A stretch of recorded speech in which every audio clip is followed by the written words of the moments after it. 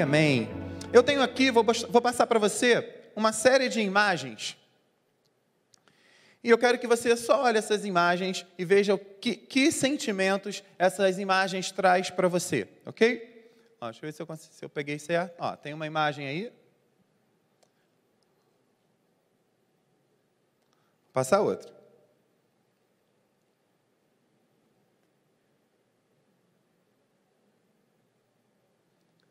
Essa aí, quem me conhece um pouquinho, essa imagem foi para mim mesmo. Eu gosto muito de, de tênis, sapato. Ah, eu vou passar outro. Quando eu falo assim que fala com a gente primeiro, né? É por isso. Isso eu também gosto muito. Você não? Todo mundo, né?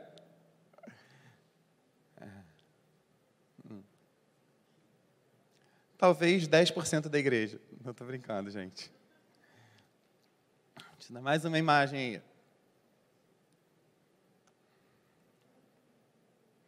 Deixando um pouquinho para você olhar bem.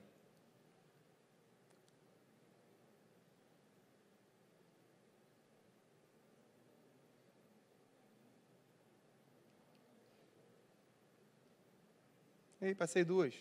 Passou tudo? Não? É porque acho que aqui. Eu que olhei errado, gente, desculpa. Acho que o pessoal lá de cima passou essa aqui, foi isso? Me enrolou toda aqui, tá, Matheus? Eu vou olhar para a televisão certa. Eu vi passando aqui correndo. Tá. Ou no outro.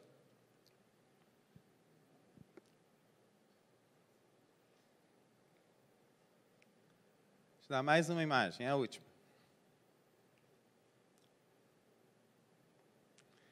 Eu coloquei nove imagens. Vou mostrar as nove que eu coloquei para você. Você lembra? Essas nove imagens aí que eu coloquei. Eu queria que você escolhesse três dessas imagens agora. Três delas. Alguém pode falar três números para mim? Eu escolho a quatro, sete, três. Alguém? Levanta a mão, pode falar, gente. Lá atrás, diz para mim, quais? Nove, um e a três. A nove ali, o culto, aleluia, glória a Deus. O dinheiro, né? E a viagem. Ok. Alguém pode escolher outras três? Fala para mim. Dois, seis, nove.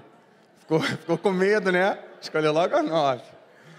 A dois, os sapatos ali, os tênis. A seis, amizade ali, o pessoal. Aquilo é amizade, tá? E a nove. Mais uma pessoa, escolhe uma. Diz para mim. Seis amizade ali, oito a família. E a nove também. Todo mundo escolhendo a nove, né? Aleluia, glória a Deus.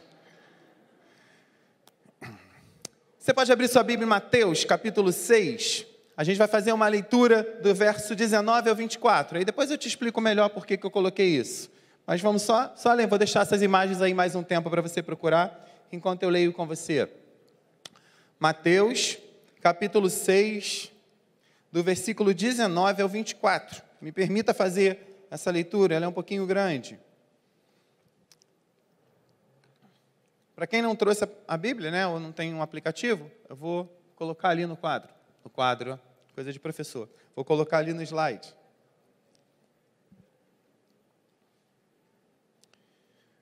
Podemos ler juntos? Não sei qual a versão que você está, pode ser que esteja uma versão um pouquinho diferente mas eu vou ler nessa versão que eu coloquei aqui. Se você preferir acompanhar pelo slide, ok. Diz assim, Mateus 6, capítulo 19: Não ajunteis para vós tesouros na terra, onde a ferrugem e as traças corroem, onde os ladrões furtam e roubam. Ajuntai para vós tesouros no céu, onde não os consomem nem as traças, nem a ferrugem, e os ladrões não furtam nem roubam. Porque onde está o teu tesouro, lá também está teu coração. O olho é a luz do corpo, se o teu olho é são, todo o teu corpo será iluminado. Se o teu olho estiver em mau estado, todo o teu corpo estará nas trevas. Se a luz que está em ti são trevas, quão espessas deverão ser as trevas? Ninguém pode servir a dois senhores, porque ou odiará a um e amará o outro, ou dedicar-se-á a um e desprezará o outro. Não podeis servir a Deus e a riqueza. Mateus 6, de 19 a 24. Hoje que eu venho compartilhar com você, na verdade, é a última frase, é o último versículo, é o 24. Vou ler o 24 de novo com você, que diz assim: Ninguém pode servir a dois senhores, porque ou odiará um e amará o outro, ou dedicar-se-á a um e desprezará o outro. Não podeis servir a Deus e a riqueza. Se a gente associar isso à série, que é o quê? Você não manda em mim, você não pode ter dois senhores mandando em você. Ou você obedece a um, ou você obedece a outro. Mas eu não tinha como, como olhar para o versículo 24 e não, e não ver o quanto, do 19 ao 24, quanto essas coisas se correlacionavam. E quando eu fiz essa leitura algumas vezes, eu falei, eu não tenho como deixar passar as outras partes né, que estão aí. E aí eu marquei algumas de amarelo. Então eu vou começar falando delas para você. E a primeira que eu vou falar é justamente essa. Não ajunteis para vós tesouro na terra. Se a gente pensar agora naquelas imagens lá, né, nas imagens que a gente, nas imagens que eu coloquei lá, você vai perceber que muitas daquelas coisas, na verdade, praticamente todas, são coisas que você junta e que você só pode utilizar agora. Concorda? Você vai levar dinheiro para o céu? Vai levar mala para o céu? Também não. Vai levar rave, festa para o céu? Também não vai. A maior parte dali das coisas que estavam ali naquelas imagens, são coisas que você não vai conseguir levar. Se a gente fizer uma leitura em 1 Coríntios 15, 19, o versículo é bem, bem pontual nisso, diz assim: Esperar somente por coisas dessa vida nos torna os mais miseráveis de todos os homens. Às vezes a gente está a gente está fazendo exatamente dessa forma. A gente está preso aí a coisas que nós podemos juntar aqui. E a gente tem gerado, na verdade, essa preocupação dentro do nosso coração e dentro da nossa mente. Por quê? Ah, eu tenho que, eu tenho que construir, ter um imóvel para deixar para os meus filhos. Ah, eu tenho que ter um carro melhor do que o que eu tinha. Eu tenho que conseguir isso, eu tenho que conseguir aquilo. Leandro, você acha ruim isso? Então, eu vou usar uma palavra que, que as pessoas usam normalmente quando não tem uma resposta muito certa, que é depende. Mas nesse momento, o depende é exatamente a palavra que responde a isso. Depende. Depende de que maneira essas motivações estão sendo geradas dentro de você e do que, de fato, o que você poderia juntar aqui está sendo o real motivador e o, lugar que isso está na sua vida. Se eu, eu vou passar mais um slide que eu coloquei um, algo escrito aí para você. Na verdade, a primeira frase não ficou com muito sentido, porque eu tirei a segunda parte, porque eu achei o slide muito gordo, e ela se perdeu aí um pouco, mas eu vou te explicar. É, eu vou tirar o fazendo assim, vou ler. O crente viver ansioso e focar suas esperanças em riquezas materiais e acúmulo de bens, isso não é o que, não é o que devemos fazer. Não é assim que devemos fazer. O nosso real objetivo na vida e o que nós fazemos aqui hoje não é focar as nossas esperanças em riquezas, no que nós construímos, no que nós alcançamos, no que a gente tem, no que, até onde a gente pode ir. Não é no acumular bens. Esse não é o nosso foco. A busca por conquistar cada vez mais algo traz longos períodos de investimento em projetos, cursos, trabalhos, hora extra, estudo Concorda? Mas, Leandro, você está achando isso ruim? Não, depende, calma. A gente vai chegar lá, a gente vai chegar lá. Eu preciso só que você entenda isso aqui primeiro. Na trajetória pela conquista, muitas vezes se perdeu coisas que o dinheiro não compra. Vida com Deus, um filho que não viu crescer, um casamento que não viu desmoronar. Você já consegue perceber eu não estou fazendo nenhuma apologia sendo contra quem está se dedicando a estudo, a concurso. Caramba, eu faço isso até hoje. Acho que meu microfone está começando a falhar. Ou foi de vez. Deixa eu trocar aqui.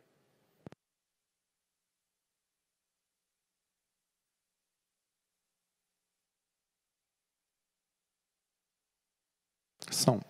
Aí.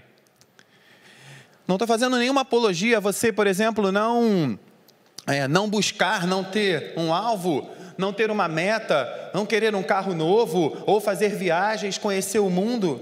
Entenda bem, o que eu quero que você entenda é que na trajetória dessa conquista, muitas vezes você perdeu coisas que o dinheiro não pôde comprar.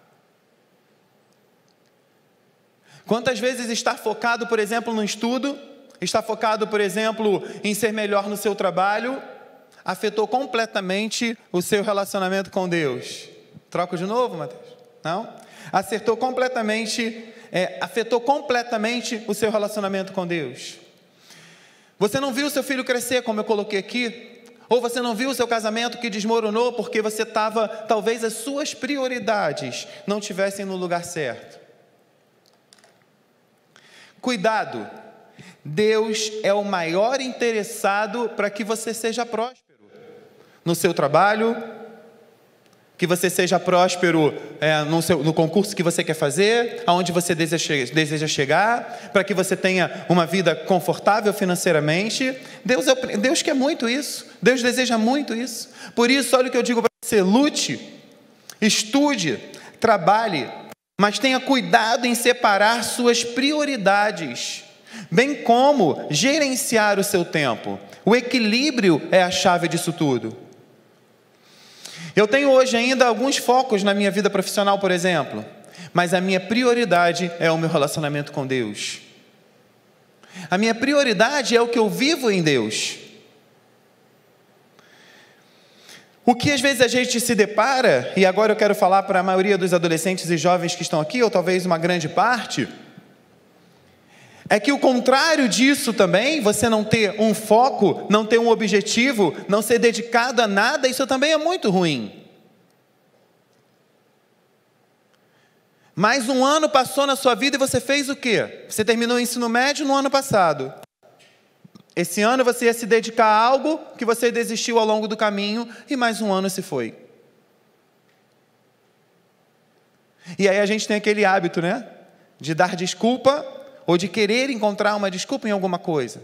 Para o quê? Para justificar a nossa inércia, o fato da gente não sair do lugar. E esse ano a gente tem uma boa desculpa.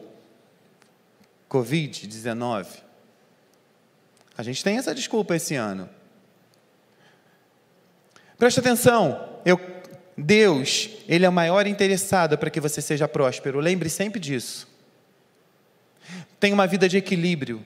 Não permita que os seus interesses para coisas que são um tesouro aqui na terra, coisas que você só vai poder usar aqui, não fiquem totalmente em desequilíbrio com as coisas de Deus. Nem abandone Deus pela, pelo que você deseja, e nem ao contrário.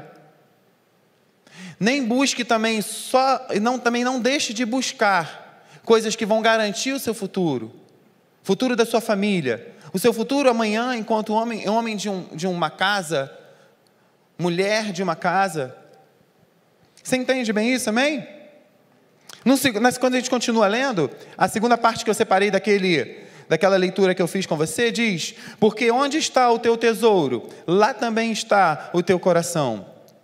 E a gente, quando lê esse versículo aqui, essa parte do versículo, a gente, a gente tem uma, uma, uma, como é que fala? Uma tendência a, a associar sempre coisas do coração a sentimentos. Mas nessa época, né, na palavra de Deus, se a gente for retomar, se você for estudar um pouco mais, naquela época o coração não estava ligado a sentimentos, muito pelo contrário, o coração estava ligado à razão. Aquele que crer com o coração né? A palavra de Deus fala muito, né? usa o coração com esse aspecto. Entenda bem, se a gente pensar naquela época, aqui eu não estou falando de sentimentos como a gente fala hoje, ah, meu coração. Não, naquela época, coração era a sua mente, era a sua, era o que você acreditava de verdade. E aqui diz: porque onde está o teu tesouro, lá também está o teu coração, lá está a tua razão, o que você acaba buscando, aonde você vai chegar. O que você quer é onde está o seu, o seu tesouro, é, é esse lugar. E eu peguei três exemplos de jovens na palavra de Deus que talvez não estivessem com o coração no lugar muito certo. O primeiro foi o jovem rico. Você conhece essa parábola do jovem rico que procurou Jesus para saber como alcançar a vida eterna? E o que, que o Jesus fala para ele? Pega, vende todos os teus bens, dá tudo para o pobre e me segue. Aí ele falou assim: ah, ah, então não quero. Ah, então não vou. Na verdade, o que, que acontece? Esse jovem, ele valorizou mais os seus recursos. Talvez os recursos é onde estava a razão dele, era o que ele acreditava. Para ele, depender dos recursos e do que ele tinha, ali estava o tesouro dele. E não em vender tudo e falou: vem, me segue. É isso, é assim que você vai alcançar a vida eterna. Esse jovem rico aqui, o tesouro dele, o coração dele, estava nos seus recursos. Você conhece a história de Jacó? Que trapaceou seu irmão Esaú? Você conhece essa história? Né? Da primogenitura? Ele rouba a primogenitura por um prato de lentilha, ele se aproveita de uma fraqueza do seu, do seu irmão, uma fome, deveria ser uma fome desesperadora. Eu não sei se você entende o que é uma fome desesperadora, talvez se você já viu alguém comendo alguma coisa do lixo. Né? Porque a gente às vezes está morrendo de fome, mas não é a fome para fazer isso aqui, não, gente. Essa fome aqui era uma fome doida. É aquela fome que você vê gente comendo sobras. Essa fome, era muita fome que ele tinha aqui. Na verdade, o que, que Jacó faz quando ele trapaceia o seu irmão? Ele valorizou mais os privilégios. E o tesouro de Jacó eram os privilégios. Onde estava o coração dele, o desejo dele, a mente dele era em ter privilégios. Ele queria os privilégios da primogenitura.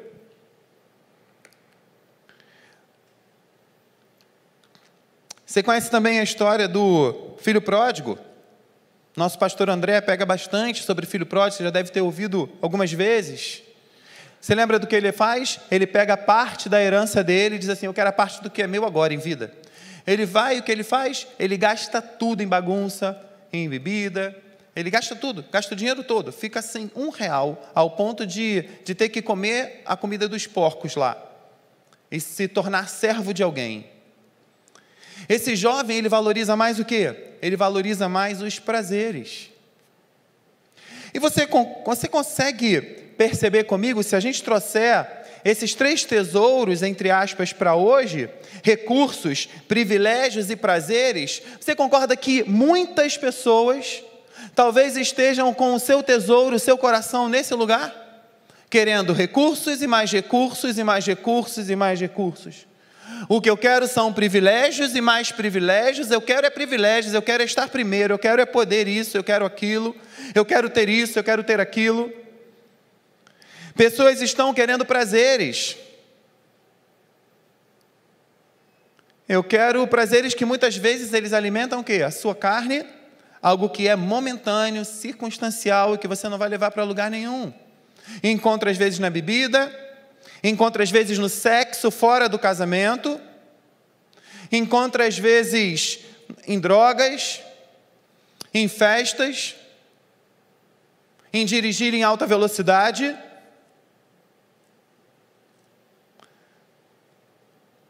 Em alguma coisa. Porque onde está o teu tesouro, lá também está teu coração. O jovem rico tinha o coração nos recursos. Jacó, o coração em privilégios. O filho pródigo, o coração em prazeres. Guarda isso aí que eu vou precisar daqui a pouco de novo. A outra parte do versículo, quando a gente continua lendo, diz assim: Se o teu olho estiver em mau estado, todo o teu corpo estará nas trevas. Eu acho que quando essa parte do versículo entra, é para mostrar que tudo isso que está sendo falado aqui não acontece de uma hora para outra, rapidamente, subitamente. Porque senão a gente ia ser bobo demais. Eu acho que na maioria das vezes o que acontece, e eu peguei essa frase até, ajustei uma parte que o pastor Jason falou de manhã, que diz assim: um sentimento disfarçado de algo sutil, e ele usou essa frase eu que completei dizendo, apodrece aos poucos a nossa alma. Porque, na verdade, gente, essa busca incessante por recurso, essa busca incessante por privilégios, ou pegar e colocar a sua carne num lugar na sua vida em que seu espírito foi engolido e hoje a sua carne fala muito mais alto do que o teu espírito, isso não aconteceu de uma hora para outra. Isso foi bem, bem aos poucos. Na maioria das vezes acontece assim: um sentimento disfarçado de algo muito sutil vai mexendo com você, às vezes coisas até coisas até que você encontra até justificativa para aquilo. Ah, é porque eu quero dar uma vida melhor para minha filha. Ah, é porque eu acredito que eu precise muito disso para ser feliz. E a gente entra em algo que você já deve ter ouvido muitas vezes hoje, é esse cristão tanto faz. Ah, tanto faz, ah, nada a ver, nada a ver, nada a ver melhor. Nada a ver. Ah, isso aqui pode fazer, aquilo pode. Ah, aí, ah, nada a ver. Bobeira, é isso? Pode sim. Tem problema nenhum em fazer isso. Isso, isso aqui, isso aqui, ah, nada a ver. Por quê? Porque muitas vezes esse sentimento você, em você aparece assim, de forma bem disfarçada. E quando você vai ver o teu coração, onde está o teu tesouro, ali você está focado em recursos, você está focado em prazeres, você está focado em privilégios. E é isso que você busca. A última parte, e é justamente a parte que eu preciso falar com você hoje, é essa: ninguém pode servir a dois senhores.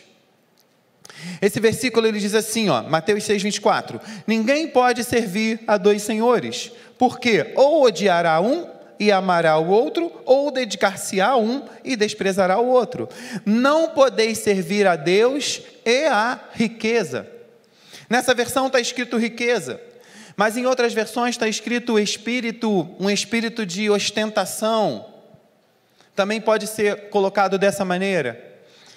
Quando fala de riqueza aqui, não é riqueza só dinheiro, né? Talvez seja um desses, uma dessas coisas que eu coloquei para você. Ninguém pode servir a Deus e aos prazeres. Ninguém pode servir a Deus e essa necessidade desesperada de alcançar recursos.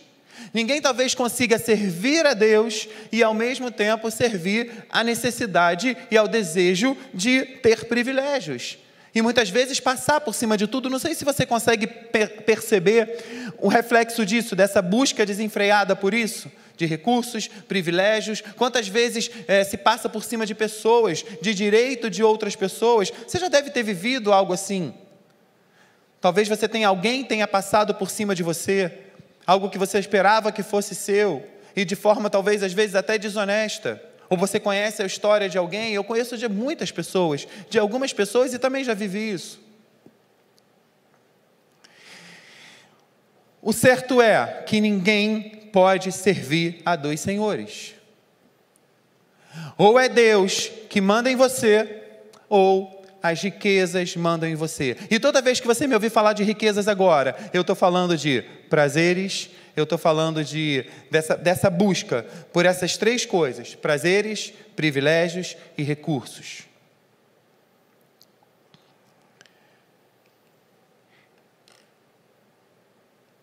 Esse versículo ele é um convite a sermos servos somente de Deus. E escravo de nenhum sentimento, escravo de nenhuma riqueza e escravo de nenhum espírito. É engraçado porque, ao mesmo tempo que eu venho para você dizer assim, seja equilibrado, ao mesmo tempo eu digo para você, escolha um dos dois lados. Você precisa escolher de verdade e talvez tomar tenência na sua vida, e uma postura, e ter uma posição e dizer: Isso aqui não manda em mim. Essa busca desenfreada por privilégios, por recursos, isso não manda em mim. Essa busca desenfreada que a juventude, que a adolescência me levou para a busca de prazeres acima de qualquer coisa, isso não manda em mim. Eu tenho uma escolha. Aqui foi feito um convite. Porque na maioria das vezes, gente, sabe o que acontece? No desespero, as pessoas vão atrás de qualquer coisa. Eu já tive, eu já tive pessoas, por exemplo, que ficaram doentes, acreditavam em Deus, cristãs, ficaram doentes, doentes e foram em todas as religiões que você pode imaginar. Fez de tudo que você pode imaginar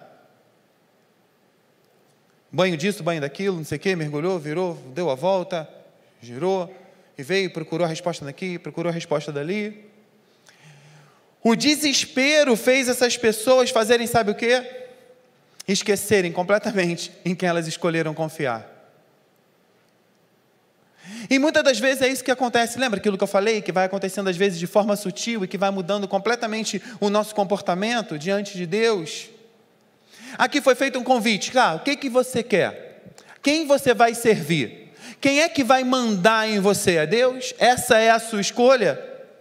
Concorda que esse é um convite para você dizer sim ou não? Eu não tenho como dizer para você? Amém? Esse é um momento que você diz sim ou não. Estou te fazendo essa pergunta. Você deseja isso, ser servo exclusivamente de Deus, servir somente a Ele, Ele ser o único que tem autoridade sobre a sua vida, sobre seus sonhos, sobre seu futuro, sobre o que está por vir? Essa é a sua escolha, sim ou não? Amém? Essa é a sua escolha, você determinou isso, não fui eu.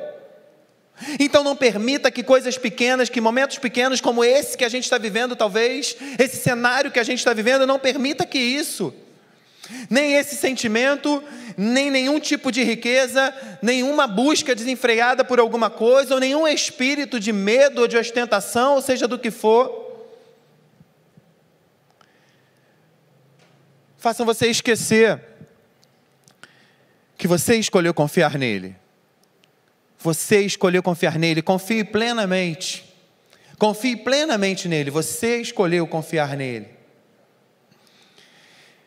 Você sabia que nós vacilamos quando achamos que Deus não é capaz de preencher todas as nossas lacunas?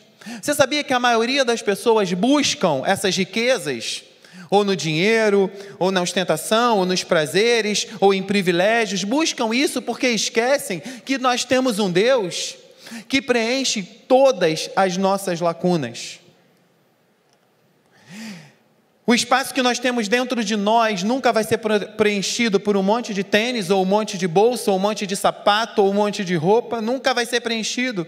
Nós podemos conhecer o mundo inteiro, talvez, ter todo o dinheiro que se pode ter, virar noites e mais noites e manhãs em festas, em rave, ter todos os amigos do mundo, ter todos os carros, ter a melhor família Mas existe um espaço dentro de nós, acho que nós fomos feitos assim, com um espacinho dentro de nós que só quem preenche é Deus. Sabe aqueles joguinhos de encaixe, de pedrinhas de encaixe? Triângulozinho triângulozinho, quadradinho quadradinho, sabe como é? Aí você vai e encaixa lá, o espacinho da família. Você pega a família, coloca lá, opa, encaixou. Espacinho ali do não sei o que, você encaixa também. Eu acho que tem um espacinho lá que é Deus, dentro da gente, que fica ali. Ele fez ali com aquele espaço. E ali é só Deus. Hoje, muitas pessoas estão aí sofrendo, frustradas, estão aí servindo a um outro Deus, buscando desesperadamente por isso, passando por cima de pessoas, desrespeitando pessoas, porque estão buscando o preenchimento desse espaço em riquezas, nesse outro Deus. E vai ser sempre frustrante, porque entende que ali você vai tentar encaixar um quadradinho no círculo, vai entrar? Não. Uma estrelinha no círculo vai entrar? Não. Um losango vai entrar? Não. No círculo só vai entrar o quê? Um círculo. O espaço que tem aí, que Deus fez dentro de você, só Deus pode preencher esse espaço, só Deus. Entenda bem, ninguém pode servir a dois senhores, não pode. Permaneça no teu foco, permaneça nos teus estudos, busque os seus estudos, estude cada vez mais.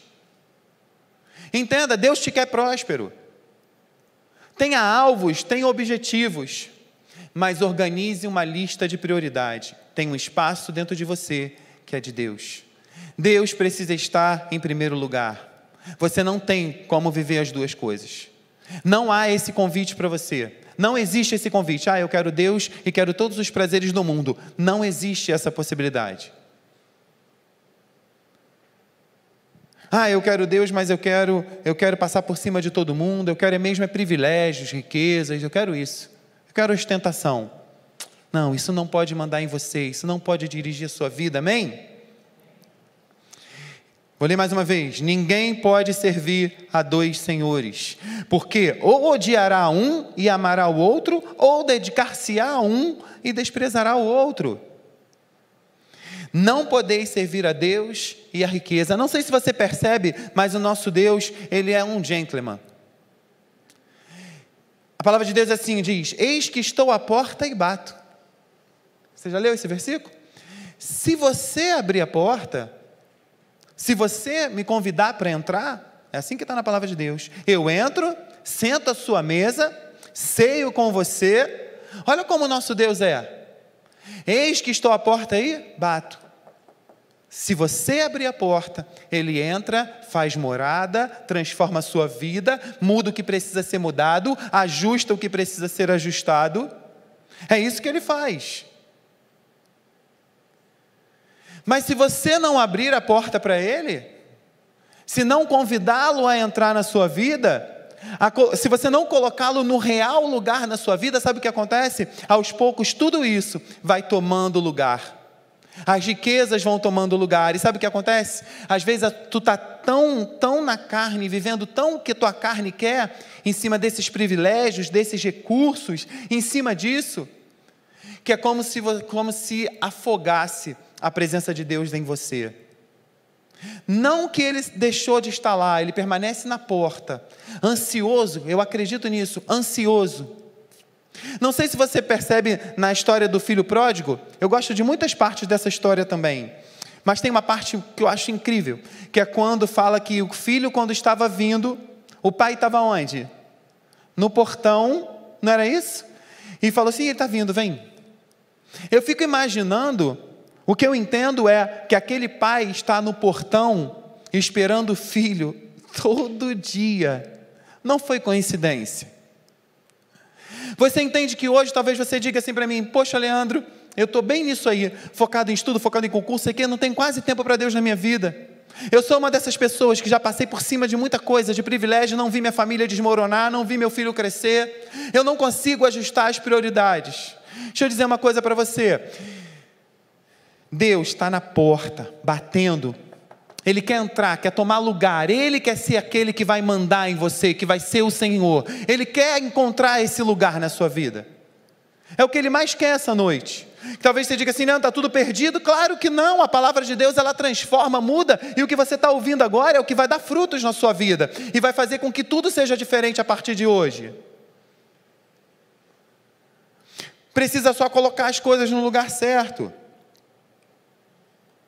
Não são recursos, não são privilégios, não são prazeres, não é dessa riqueza que você precisa. Não é isso que precisa mandar em você. Deixa eu explicar para você. Isso é apenas consequência da sua escolha de servir a Cristo. A consequência já te faz ser privilegiado. Você acredita nisso? Somos filhos separados nação santa, povo de propriedade exclusiva de Deus. A palavra de Deus diz isso. Esse é quem nós somos, esse é o nosso privilégio. Nós já temos prazer aonde? Nós temos prazer nas coisas que são de Deus e é isso que deve ser o nosso foco. Porque senão, falar de recursos para você, falar de dinheiro para você, sempre vai ser um problema. E sempre esse espírito aí que né, esse espírito que aqui colocou como riqueza nesse versículo, esse espírito vai ser sempre algo que vai te atrapalhar, por exemplo, no momento de oferta. Talvez para você não seja confortável quando um pastor ou alguém chega aqui e diz assim: agora vamos dizimar, vamos ofertar. Talvez esse espírito diga assim: caramba, já vem esse negócio de oferta de novo. Ou talvez sempre venha uma segunda uma segunda fala quem depois puder ouvir a pregação da manhã, quem não ouviu, vale a pena. Tem uma parte da pregação da manhã muito direcionada para isso. Né? Quantas vezes, eu até teve um. Eu sou uma dessas pessoas, eu não dou dinheiro em sinal, em hipótese alguma. Porque eu acho sempre que esse dinheiro vai ser para outra coisa. entenda bem, não é uma desculpa que eu tenho em mim para não dar, não. É simplesmente eu acho que é verdade. Mas ele, ele deu até um exemplo de um pastor que anda com um monte de biscoito dentro do carro. Ele tem esse hábito. Não, um cara que não é pastor, desculpa, a história é essa. Ele não é nem pastor, né? não é nada. Nem cristão. Nem cristão, eu acho. Acho que é isso. E ele anda com os. Ok, gente. Ele anda com os biscoitos no carro. E quando alguém vem e pede algum dinheiro, que ele fala assim: Não, dinheiro não te dou, não, mas toma aqui um biscoito. Eu tive essa experiência. É, eu fui andar de bicicleta e eu parei. Aí tinha uns biscoitos assim. Passou o menino. Aí falou assim: Pô, tio, me dá um biscoito desse aí. Eu falei, claro, eu fui dei o biscoito ali, acabei fazendo, lembrando desse, desse momento aí. que eu acabei vivendo. E, e como foi bom poder viver isso? Pessoas às vezes estão tão ligadas em recursos, em ter, em ter, que, que não conseguem perceber o quanto é muito melhor dar do que receber. E essa palavra já foi engolida. Você fica tão obcecado por isso que você não consegue perceber qual é a sua essência real e o quanto ofertar, o quanto isso, o quanto é, é, dizimar, ofertar ou abençoar a vida de alguém, o quanto isso é incrível. E quanto, o quanto isso é, para outra pessoa também, algo impressionante. Eu, há muito tempo atrás, contei uma história, quando a gente dá lugar a isso na nossa vida, como isso pode ser incrível. Eu tinha um, uma outra igreja que eu participei, Nova Vida de Inhaúma, há muitos anos atrás, gente. Eu tinha 19 anos. Eu tinha não, tinha uns 15 anos. Mas nessa época eu devia ter uns 19, 20. Um, um diácono estava passando por uma dificuldade financeira muito grande. Tinha quase nada em casa, assim, passando um momento muito difícil na vida. Que já passou. Mas ele passava por esse momento muito difícil. E o filho dele chegou para ele e falou assim: pai, criança pequenininho, falou assim: pai, eu queria muito um trenzinho. Aí falou que queria esse trem e tudo. O pai falou: meu filho, eu não tenho como te dar esse trem. Papai não tem dinheiro de jeito nenhum. E aí ele, ele chegou para o pai e falou assim: Pai, mas se eu orar, eu não ganho esse trem? Não sei se. Eu acho que quem é pai e mãe aqui entende melhor esse sentimento agora de compartilhar, sabe? E você, ao mesmo tempo. Eu sempre me emociono um pouquinho quando eu conto essa história. Você, nessa hora, ter que gerar uma fé dentro de você e dentro do seu filho e dizer assim: claro que você pode ganhar um trem, se você orar. Deus se preocupa com todos os detalhes da nossa vida, gente. Com todos os detalhes. Se você continuar lendo esse capítulo depois, você vai ver que ele, depois que fala tudo isso, ele fala do quanto Deus se preocupa com você. E ele vai fazer a oração. Pai, então eu quero orar. O efeito aí da NV Kids, né? Eu quero orar. E o menino orou. Ah, não sei o quê, eu quero um trenzinho, eu quero isso, isso, isso. E no meio da oração ele ainda falou assim: Senhor, e traz também uma boneca para minha irmã, para ela não ficar triste. Piorou tudo, né, gente? Além de trazer agora ter o, o trem, ainda tem a boneca da irmã, tem a comida que eles também estavam com uma dificuldade. O mais incrível dessa história, gente, que ao mesmo tempo que é incrível, é algo que talvez seja fácil da gente entender, porque é o que nós poder, podíamos esperar do nosso Deus. Dia seguinte de manhã, uma irmã toca a campainha para levar alimento para eles. E diz assim: Olha, aqui, eu trouxe esses alimentos aqui para você, e tive uma direção de Deus de trazer esse trenzinho para o seu filho e uma boneca para sua filha. E aí, quando você se permite, talvez, não estar ligado a isso aqui, gente, a riqueza, a isso, talvez você se permita abençoar a vida de pessoas e ser usado por Deus, entende? Cara, será que não é isso realmente que vale a pena? Será que se eu voltar para todas aquelas imagens que eu coloquei lá no início da aula, na aula, gente, coisa de professor, no início do que eu falei aqui, será que se eu voltar para tudo aquilo lá e te contar essa história agora, Caramba, eu gostaria de ser essa mulher que levou o alimento, que levou o trem e que ainda levou a boneca para a menina. Eu queria ter sido essa mulher que fez isso. Como eu queria ter tido. E como essa história marcou a minha vida por anos e anos e anos. O meu convite hoje noite, nessa noite não é para você equilibrar isso, é para você escolher. Eu não quero que você equilibre entre Deus e essas riquezas. Deus e ostentação, Deus, não é para você equilibrar.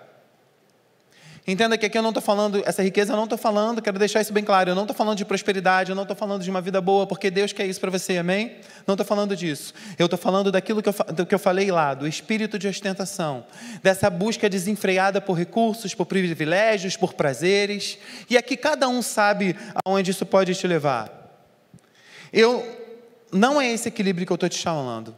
O que eu estou falando para você é o seguinte: ou serve a Deus em todas as áreas da sua vida ou não serve. Esse é um convite radical que eu estou fazendo para você aqui na igreja, para você que está na sua casa, de fazer essa escolha. Eu posso te garantir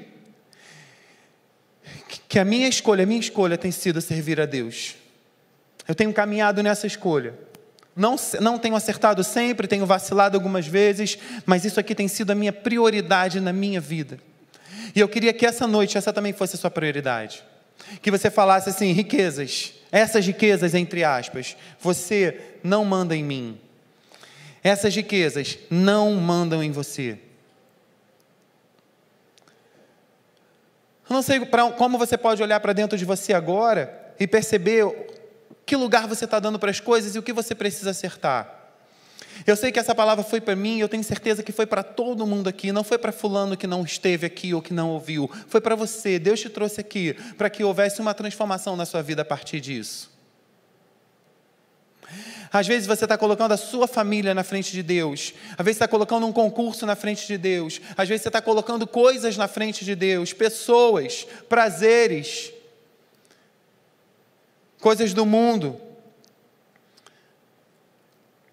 E aí, Leandro, o que eu faço? É, facinho, simples. Eis que estou à porta e bato. Abre a porta, eu entro e ele toma o lugar dele, o lugar certo de trono na sua vida. Só isso. O que você precisa hoje é só fazer isso. Falar assim: Senhor, toma o teu lugar na minha vida. Eu não vou ter dois senhores, eu não tenho dois senhores. Você é o meu único Senhor, o meu único Senhor. E eu quero exatamente te convidar a fazer isso nessa hora. Vou pedir para você sentado mesmo, fechar os seus olhos aí no seu lugar. Eu acredito muito que uma atitude, e a gente agora nesse momento não está podendo sair do lugar, vir aqui na frente para não aglomerar, mas eu acredito muito que uma atitude, sabe, um mover, isso faz muita diferença no mundo espiritual. Às vezes levantar as mãos, às vezes ficar de pé ou sair do seu lugar. Isso mostra no mundo espiritual assim, ó, Satanás, você perdeu mais uma vez. Quando você toma uma atitude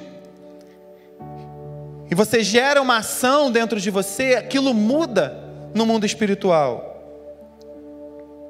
E se eu quero dizer que se você hoje percebe, queria que todos ficassem de olhos fechados mesmo.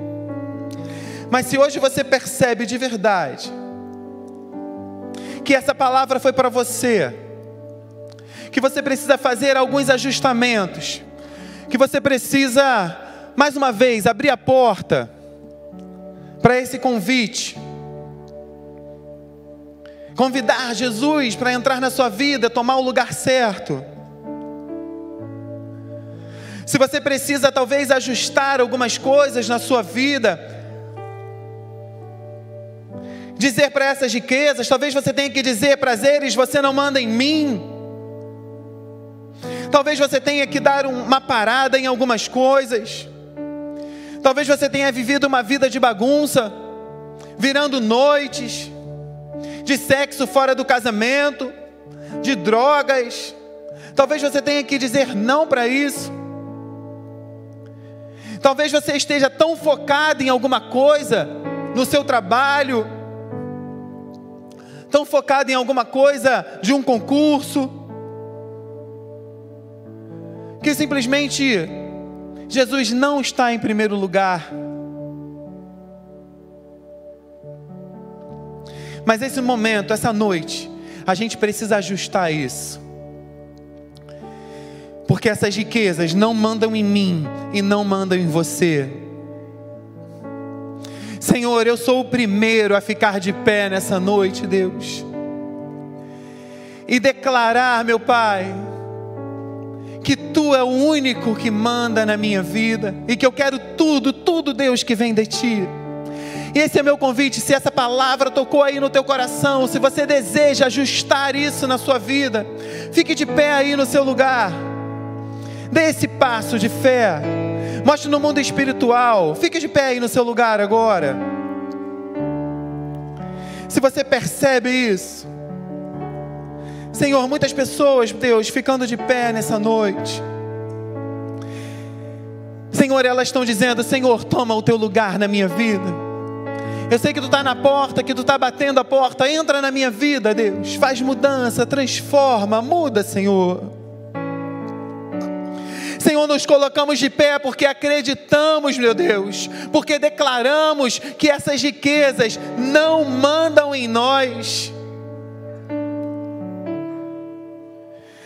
Tu és o único Deus capaz de mudar e transformar as nossas vidas.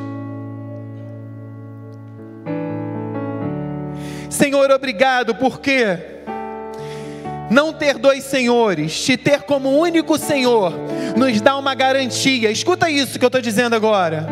Não ter dois senhores na tua vida, ter um único Senhor na tua vida, te, dar uma, te dá uma garantia, isso é uma promessa, de que todas as coisas, todas as coisas serão acrescentadas, porque a palavra de Deus diz: se você buscar a Deus em primeiro lugar e colocar Deus em primeiro lugar na sua vida, todas as coisas, todas, tudo que você está querendo, que você está planejando para o seu futuro, todas elas.